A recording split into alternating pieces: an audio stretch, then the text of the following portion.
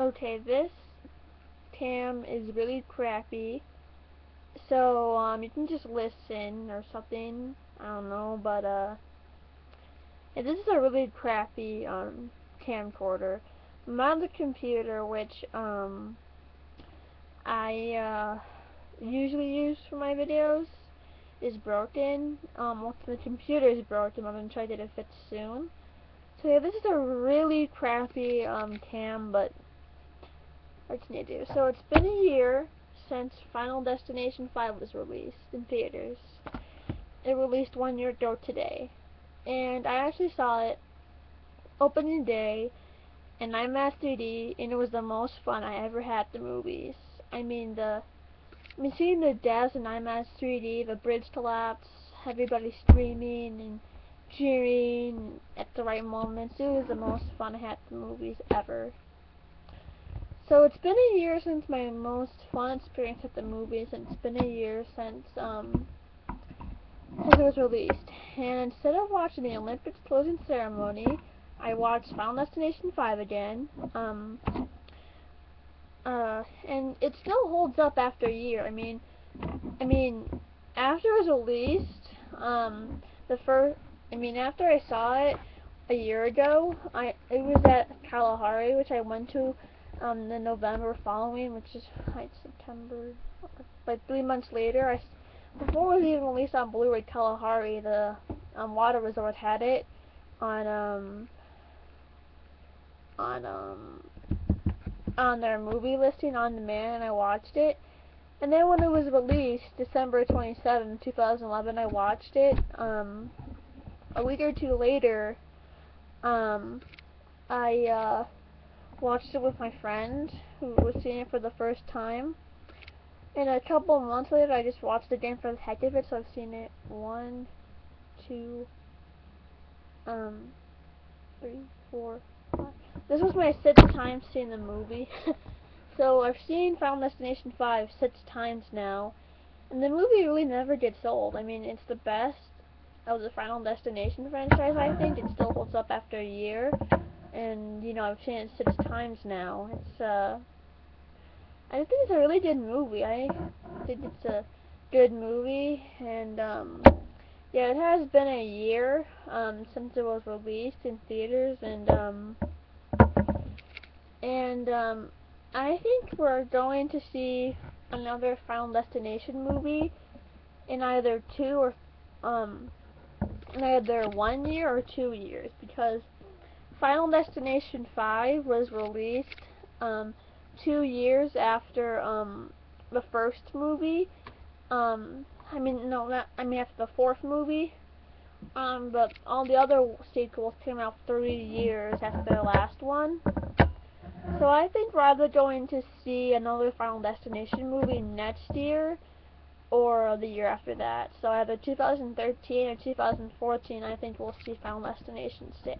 But I don't know, maybe they were intending it, um, to, um, have it be the ending, because, um, if you've seen the movie, you know that, um, that it does kind of bring the series kind of full circle, kind of, I mean, if it is an ending, it's a good ending, because the ending, I mean, if it is an ending, I think it's a pretty good ending, because, um, well, I can't really say without spoilers, but, um, it definitely brings the series full circle.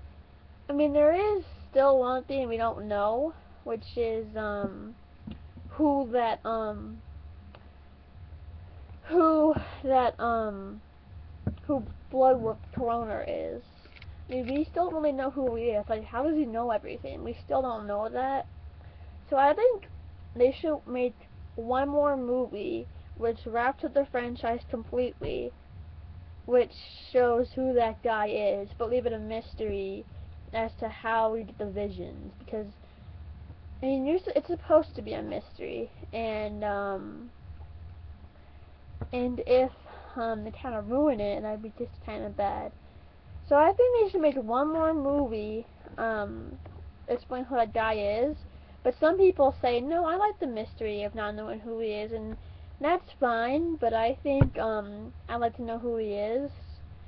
But if um, they don't make a move, another movie saying that's it, then I'm fine because um, other than not knowing who that guy is, Final Destination 5 does pretty much wrap up the franchise.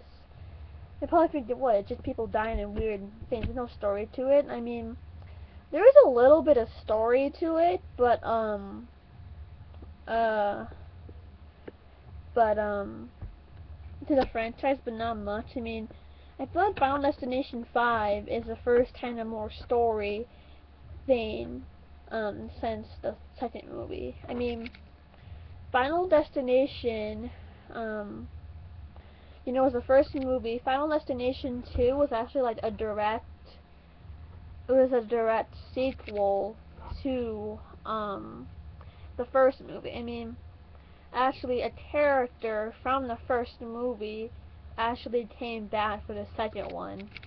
So it pretty much brings, I mean, the second movie is pretty much like a direct sequel to the first movie. And Final Destination 3 and 4, um, they don't really have story. They're just um, people um, dying in random ways, even though they're both good movies. Although the fourth one was a little.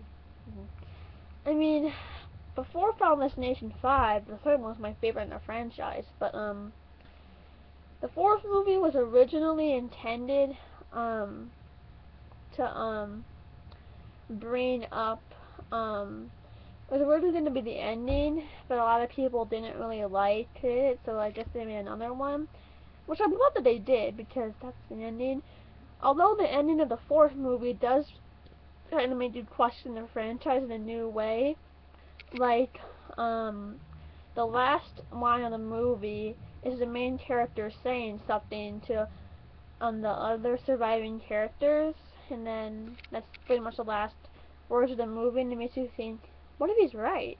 I mean, it makes you look at the franchise a different way. So maybe they were intending that to be the ending, but then you know this this movie came along.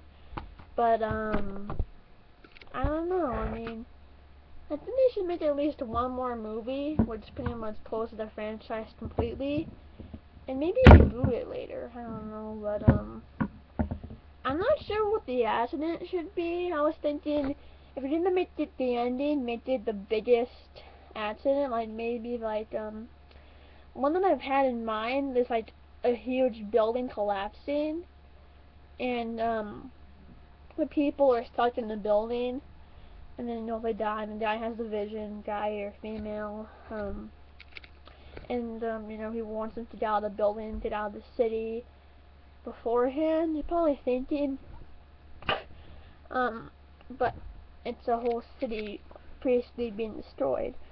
Maybe have it be um be a while um before but still have things happen or something.